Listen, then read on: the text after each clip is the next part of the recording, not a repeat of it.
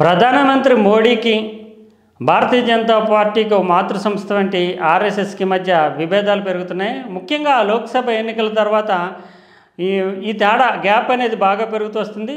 మోడీ పైన అసంతృప్తిని వివిధ రూపాల్లో ఆర్ఎస్ఎస్ నాయకత్వం వ్యక్తం చేస్తుంది. సాక్షాత్తు ఆర్ఎస్ఎస్ చీఫ్ మోహన్ భగవత్ జార్ఖండ్లో ఇటీవల చేసినటువంటి ప్రకటన మోడీని ఉద్దేశించే చేశారంటూ రాజకీయ వర్గాల్లో చర్చ నడుస్తోంది. బీజేపీ సైతము మోడీ పట్ల అంటే బీజేపీలో ఉండేటటువంటి నాయకులు సైతం ఆర్ఎస్ఎస్ తమ పట్ల ఆగ్రహంగా ఉందనే చెప్తున్నారు. ఇటీవల చూసాము మోడీ ఎన్నికలకు ముందు ప్రధానమంత్రి నరేంద్ర మోడీ తన తల్లి మరణం తర్వాత తాను సామాన్యంగా భగవదంశతో పుట్టాననే భావిస్తున్నాను. ఈ శక్తులన్నీ కూడా తనకి దైవదత్తము అంటూ చెప్తూ ఒక భగవత్ స్వరూపంగా తనను తాను అభిమానించుకున్నటువంటి తీరు చూసామో? అది చాలా విమర్శలకు తావిచ్చింది.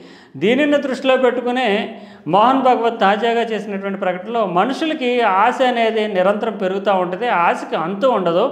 తాము సూపర్ మ్యాన్ కావాలని కొందరు అనుకుంటూ ఉంటారు. సూపర్ మ్యాన్ అయిపోయిన తర్వాత దేవత అని అనుకుంటూ ఉంటారు అంటే సూపర్ మ్యాన్ కంటే పై స్థాయిలో ఉండేటటువంటి దైవ స్వరూపంగా భావిస్తూ ఉంటారు. ఇంకా పైకి వెళ్ళిపోయి అంటే దేవతలకు కూడా అధినాయకుడైనటువంటి భగవంతుడిని తానే అని అనుకుంటూ ఉంటారు. ఈ ఈ ఈ ఈ భ్రమల ప్రపంచంలోనే మనుషులు నివసిస్తూ ఉంటారు అని చెప్పేసి అన్నారు. అంటే తాను దైవదూత దేవుడు భగవదంశ అంటూ ప్రధాన నరేంద్ర మోడీ ఏదైతే ప్రకటన చేశారో దాన్ని ఎద్దేవా చేసే విధంగా మోహన్ భాగవత్ చేసినటువంటి ప్రకటన ఉండడం ఖచ్చితంగా కాంగ్రెస్ పార్టీకి ఒక అస్త్రంగా మారింది.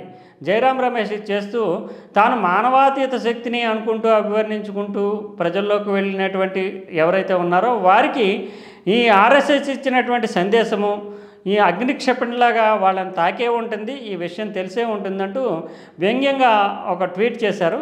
ఖచ్చితంగా బీజేపీకి ఆర్ఎస్ఎస్కి మధ్య ఏర్పడినటువంటి గ్యాప్ని నరేంద్ర మోడీ తనను తాను భగవత్ స్వరూపంగా వర్ణించుకున్నటువంటి తీరులోని లోపాన్ని దాని పట్ల తీవ్రంగా వ్యతిరేకతని ఆర్ఎస్ఎస్ ప్రకటిస్తున్నట్లుగానే మోహన్ భగవత్ ప్రకటన బట్టి చూస్తే మనకి అర్థమవుతుంది.